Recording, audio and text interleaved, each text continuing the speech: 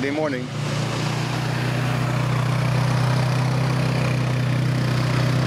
Up at the Monorino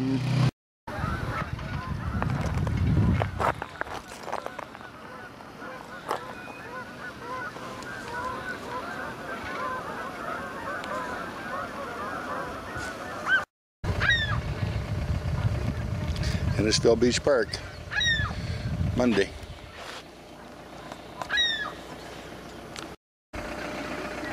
Wrap at Innisfil Beach Park, Monday morning.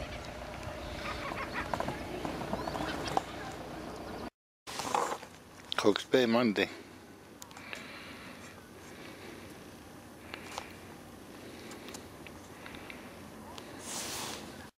Here's your shoreline at Gilford Road on Monday.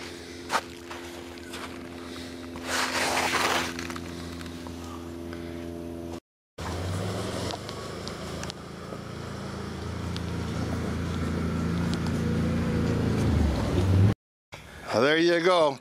Last pike of the season right there. How'd you get that? About 200 yards offshore, I just coming in. Just walking in and stop for a minute. I just figure, well, my last hurrah. There you go. Good for you. They're packing up and finished for the year.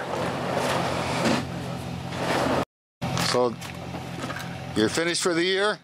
Yeah, I'm afraid so. All right. Nothing as good as last year, David. There you go.